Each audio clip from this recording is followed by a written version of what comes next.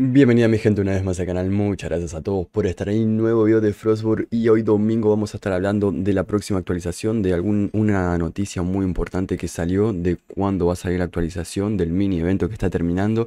Y obviamente también voy a estar aclarando y agradeciendo a toda la gente que pasa día a día por los videos. Y recuerden, sí, lo digo varias veces, pero como saben somos el canal más grande de habla hispana de Frostboard. Somos el Discord más grande, sí, la comunidad más grande también de Frostboard. Y obviamente que todos los días tenemos mucha gente nueva, gracias a Dios y a todos ustedes que se suscriben y activan las campanitas y todas esas cosas. Pero como digo, la comunidad va creciendo, somos muchos y cada día somos más. Y hay mucha gente que todavía me lo pregunta, me dice, Javi, ¿por qué no haces PvP? Si el Frostboard es PvP, lo mejor que tiene el juego es el PvP y la adrenalina y todas esas cosas. Bueno, lo repito una vez más, tengan en en cuenta de que hoy en día el juego, ya hace un tiempo atrás, viene muy desbalanceado. Gente de nivel 50 que te toca contra nivel 80, 100 clase de nivel 3 que te toca contra clase nivel 5, en clase, o sea, gente con ropa de azul que te toca contra legendario, si vas de legendario te sale un team, si vas de, de, legendario te sale uno runia, o sea, el juego está bastante desbalanceado, entonces hacer PvP hoy en día es hacerse mala sangre, ¿sí? O sea, puedes disfrutar uno, pero cuando lo perdés, lo estás hace mala sangre, y si vas legendario y te sale un team, te haces mala sangre, entonces eh, es algo que eh, hay gente que lo le gusta y hay gente que prefiero evitarlo. En mi caso, prefiero evitarlo porque no quiero hacerme mala sangre, ¿sí? Tengan en cuenta de que ustedes ven en creadores de contenido, ¿sí? Hay muchos creadores de contenido que hacen lo mismo, tan, suben sus videos de PvP y vos decís, wow, qué bueno que está esto, pero tengan en cuenta de que para un creador de contenido que sube PvP, tiene que estar bastante tiempo en el juego, ¿sí? O sea, para ver ese videito que ve de, de 10, 12 minutos, que la están pasando bien, que se están riendo y están jugando PvP,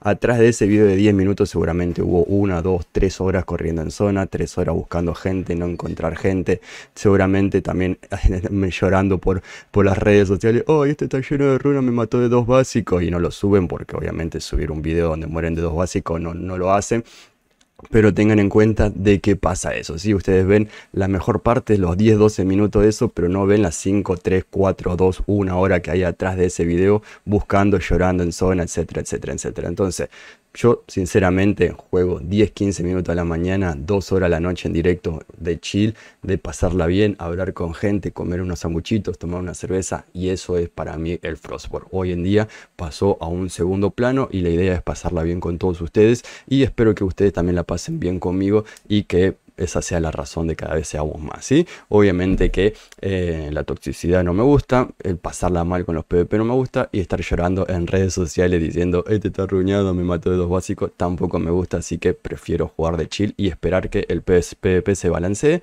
cosa que parece que están trabajando en ello y ojalá que así sea. Así que dicho todo esto, ahora sí, muchas gracias a los nuevos y a los que ya me conocían, lo remarco. Vámonos para el juego. Bien, gente, estamos acá dentro del juego, ¿sí? De los juegos, estamos en de nuevo, sí, como hice el otro día en simultáneo, primero tengan en cuenta, porque mucha gente pregunta cuándo sale la actualización, cuándo va a salir, ya pasó mucho. Bueno, tengan en cuenta de que Kefir últimamente viene manejando el, mismo sistema, ¿sí? En, la, temporada 20... Ahora la que viene, ¿cuál es? Ya me perdí. La que viene la 23, o sea, la temporada número 22 terminó el domingo pasado, ¿sí? El domingo pasado se activó el mini evento que fíjense que yo recién acabo de conseguir otro hacha usando, consiguiendo esto, sí, no me daba para conseguir la guadaña, así que conseguí otro hacha de esto.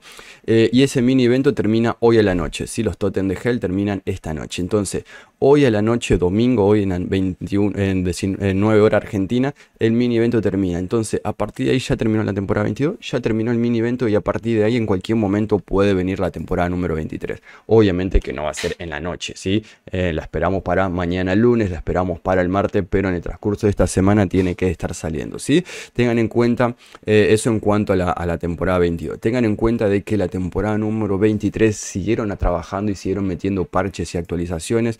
Hay unos cambios con respecto a la ropa. Fíjense de que ahora las especializaciones son mucho más largas. El fuerte de los traidores te dan 25 de defensa. Después tenés armadura por en 14 más de armadura. Especialización figura abajo y arriba. En otras ubicaciones 6. O sea, está mucho más detallado el tema de de la, de la ropa, ¿no? No sé por qué el casco no me da especialización, pero bueno, está mucho más detallado y obviamente que está mucho ya más, eh, más armadita todo para que salga de forma global, como digo, entre mañana y pasado, ¿sí? Tengan en cuenta de que, em, de que, bueno, como dije, la zona PvP, donde vamos a encontrarnos sin gente, o sea, sin runa y con la misma ropa todos, o sea que eso va a ser más parejo. Esperemos que se estén trabajando, como digo, en esto. Pero lo importante de esta nueva actualización que viene, sí, ya lo vamos a poner en pantalla completa, lo que viene de esta temporada, lo positivo es que hay una nueva zona permanente, seguramente lo puse en la miniatura o algo, eh, pero nueva zona permanente. ¿De qué estamos hablando? ¿Cuál es la zona permanente? Bueno, tengan en cuenta de que en el día de ayer subí un video hablando de la senda de inmortal, ¿sí? La senda de inmortal, fíjense que habla de exploración, de zonas de farmeo, habla de eh, campamento base, ¿sí? De construir tu campamento y las misiones de campamento, habla del viejo Heim, que como dije en el video de ayer, ya es una zona que va a estar confirmado de que es permanente, ya lo habíamos dicho, pero eh, está confirmado ahora porque si lo ponen acá en la senda del inmortal, en una cosa que va a ser para todos los nuevos jugadores, no es algo de temporada, sino que ya va a quedar permanente. Y dentro de esto también aparece, bueno, tu distrito, sí, y también aparece las clases, las tumbas, y los campamentos de los traidores. A esto quería llegar, ¿sí? Entonces, visita el campamento del ejército. Atentos, en el campamento del ejército van a agregar esto permanente, ¿sí?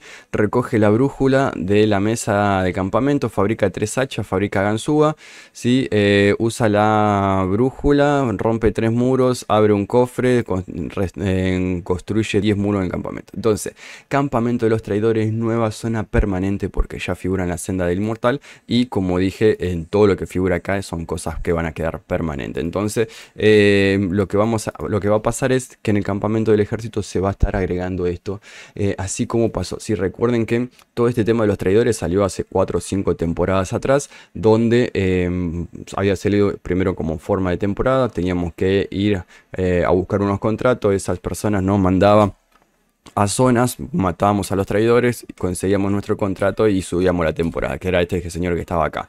¿sí? Nos conseguíamos los contratos, los contratos te mandan a una ubicación amarilla o roja, matás a los traidores y los traidores te daban estos anillitos que están acá arriba y estos anillos los usas para comprar en esta tienda, ¿sí? cositas, ropa legendaria. Esto salió en una temporada y después de esa temporada quedó de forma permanente y esto hoy en día lo pueden hacer en el servidor global o lo van a poder hacer siempre que quieran porque van a estar acá. Y fíjense que no es caro, si comprar un traje legendario no es caro gente, o sea es muy barato comprar un traje legendario, la verdad que está bastante interesante, 3, 6, 7, 8 anillos y sacas un traje legendario, la verdad que está sumamente fácil eso. Y esto también va a quedar de forma permanente, si el tema de de las brújulas que vamos a tener que venir. Seguramente va a quedar el NPC este de acá con su banco de trabajo y va a quedar permanente este tema de las brújulas. Hay que ver si el tema de la ropa esta no, porque esto dice que se va a destruir después de la temporada, si es temporal. Pero las brújulas, esto es para ir al, al, fuerte, ¿sí? Las brújulas son para ir a las casas de los. Son dos ubicaciones distintas. Esto lo usamos para el pase principal y esto es para el pase secundario. O sea que esto no va a quedar de forma permanente, pero sí va a quedar de forma permanente la brújulas. Así que bastante interesante ese tema, nuevo contenido permanente confirmado, que eh, vamos a ver cómo sigue ¿sí? y si hay gente. Yo creo que sí, yo creo que los contratos hay gente que lo sigue haciendo y sigue sacando cositas legendarias de ahí. Vamos a ver esto, qué utilidad le dan, porque una cosa es para subir el pase y otra cosa es ver qué utilidad le dan nuevo de la temporada como contenido permanente. Y para terminar el video vamos a estar hablando de esta publicación, ¿sí? Tengan en cuenta de que hicieron esta publicación con esta imagen que yo lo tengo abierto por acá, que es esto que ven ahí, ¿sí? Es como si nosotros estamos en nuestra casa, es como que estamos en nuestra casa mirando por la ventana y en la ventana se ve un bosque con una bruma y alguien con los cuernitos y algo en la mano. ¿Será el Bambi? No, no, no, este no tiene forma de Bambi, así que no sé quién es. Y la traducción dice, justo en el corazón del bosque, donde las sombras flotan entre los árboles a la luz de las lunas, las hojas tiemblan. ¿Tendrán frío? Mantén tus sentidos alerta y tu mente alerta, ya que en el bosque, ya que el bosque guarda muchos secretos y cualquier cosa puede suceder en las profundidades. Está hablando de un bosque, de sombras y, em, y, de que estemos alerta y demás. Obviamente que el bosque de la sombra es este.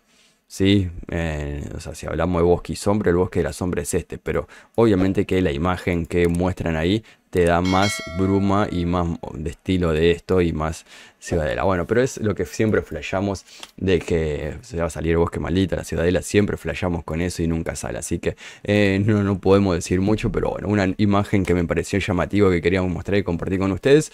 Y, bueno, avisar eso, así de que la actualización está muy, muy, muy cerca, que seguramente mañana, el lunes o el martes salga. Tengan en cuenta de que yo me voy a estar mudando, así que voy a estar, si siempre soy un poco inactivo con el tema del tiempo y las cosas, voy a estar un poco más eh, inactivo esta semana, medio complicado, pero eh, vamos a tratar de mantenerlos informados con todas las cosas nuevas que salgan. Así que se suscriben, ayudan a compartir y nos vemos en el próximo video. Se cuidan, chau chis.